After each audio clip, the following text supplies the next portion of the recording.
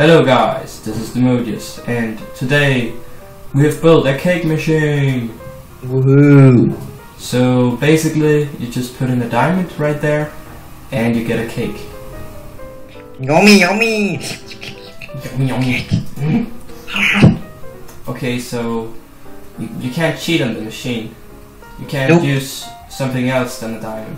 So that's that's pretty cool. Yeah, try it out. If you try, for example, with a sandstone or something, it will just reject it and nothing. No, you will get no candy. But if you try it with a diamond, you will get cake. More diamond, still get cake. So yeah, that's pretty awesome. Uh, let's go to the mechanic room. The mechanic room. You can get, Mechanic room? get inside the machine here. Ah. Okay, so here you can take out the earned diamonds. So we have four diamonds we've earned. And here you can refill it with cakes. So you just put the cakes in and it reloads the machine. So that's pretty simple. But Yeah. the inside is a bit more complicated. Um, yeah.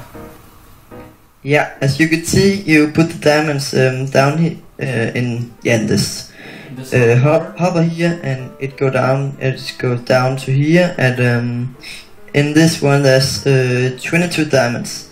And um, when you put the 23rd diamond in, it, this co- comparator will um, will turn on this Redstone um, PC, and it will um, uh, dispense some just dispense a cake, and um, it also go uh, goes down to here, where it's um, powering the Redstone lamp. Rest on And, uh, right yeah.